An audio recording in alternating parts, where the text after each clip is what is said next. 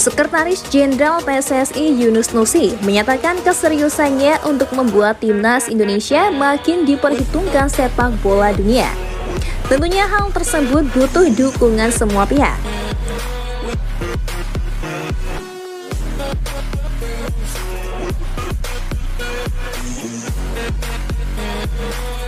Yunus mengatakan proses naturalisasi pemain memang belum ada rencana dihentikan. Namun, proses naturalisasi pemain baru akan dilakukan berdasarkan kebutuhan skuad Garuda. Saat ini, PSSI sedang merampungkan proses naturalisasi Justin Hapner, Jay Itzes, dan Nathan Joon. Namun tahapan ketiga pemain itu berbeda-beda saat ini yang telah dilalui.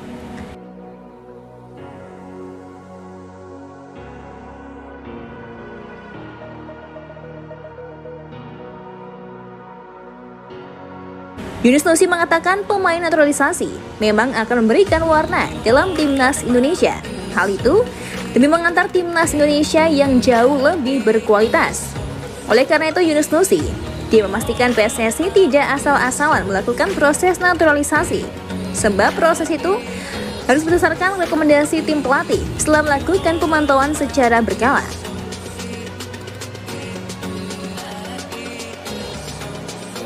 Pada event-event yang mengharuskan kami untuk naik level. Di samping itu juga visi Ketua Umum PSSI Erick Thohir dan Esko yang timnas itu bisa menjadi singa Asia atau bisa berbicara banyak di sepak bola dunia, kata Yunus Nuzi.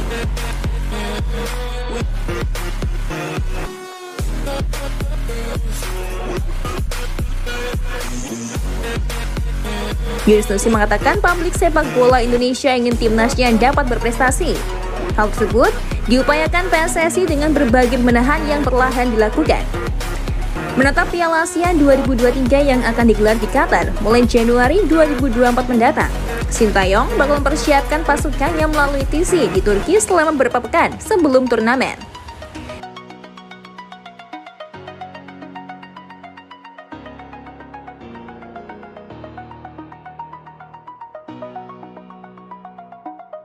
Kompetisi itu bakal dimulai pada tanggal 20 Desember 2023 mendatang. Sejumlah pemain lokal yang bermain di Liga 1 2023-2024 diperkirakan bisa gabung tepat waktu karena Liga akan diliburkan mulai 19 Desember 2023. Namun bagaimana dengan mereka yang bermain di luar Indonesia?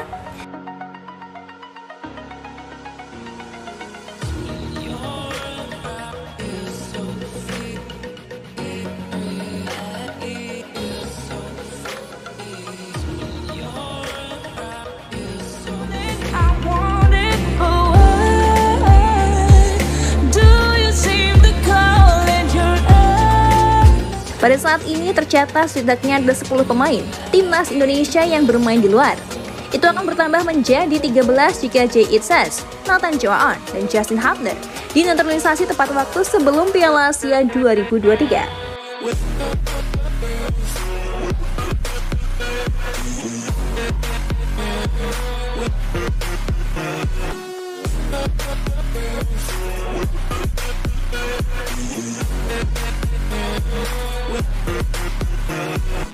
Dari 13 nama itu tak semuanya bisa gabung TC tepat waktu. Sebanyak 6 nama berpotensi untuk datang telat karena klub mereka masih bermain setelah 20 Desember 2023.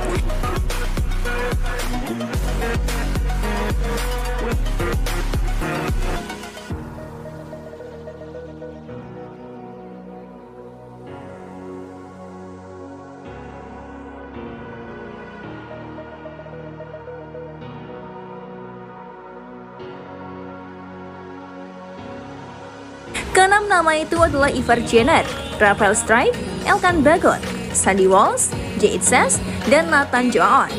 Strike dan Jenner sama-sama bermain di Liga Belanda. Mereka diprediksi baru dibebaskan klubnya pada tanggal 23 Desember 2023.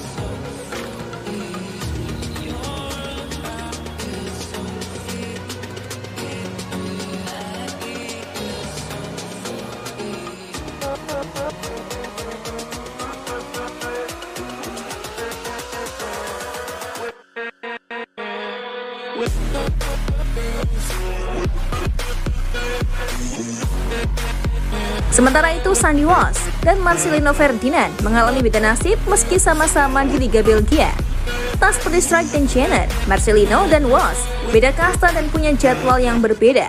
Marcelino diharapkan bisa bergabung pada tanggal 17 Desember 2023. Namun Walsh prediksi baru bisa bergabung setelah 28 Desember 2023.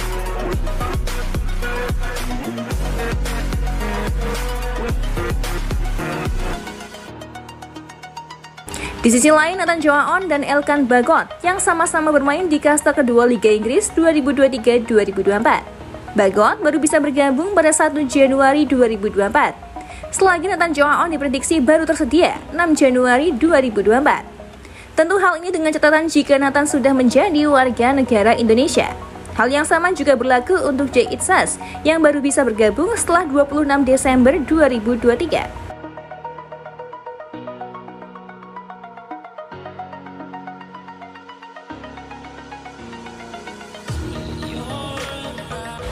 Sisanya seperti Jordi Amat, Sandro Ramdhani, Marcelino Ferdinand, Pratama Arhan, dan Asnawi Mangkualam.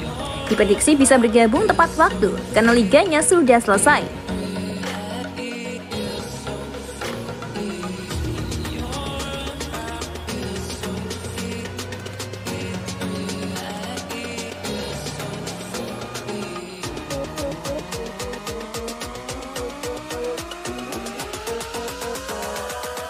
Sementara itu, Justin Hapner juga bisa gabung tepat waktu, asalkan sudah memegang paspor warga negara Indonesia.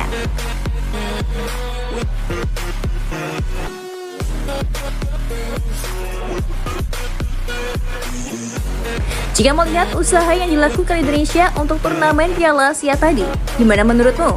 Coba tulis di kolom komentar.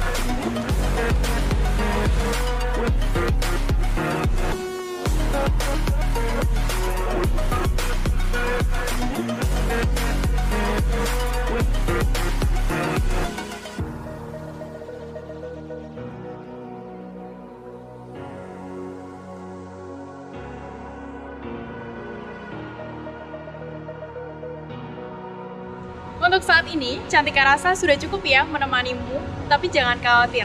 Cantika akan selalu menemani hari-hari kosongmu. Jangan lupa subscribe Timnas TV, biar kamu gak ketinggalan berita update seputar Timnas Indonesia.